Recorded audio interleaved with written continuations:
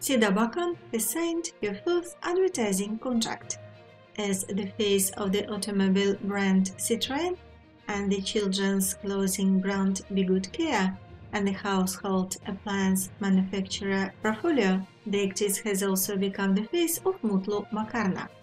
She will soon start shooting for the second season of the popular Netflix series Another Self, which will be produced by OGM Pictures in Ayvalık.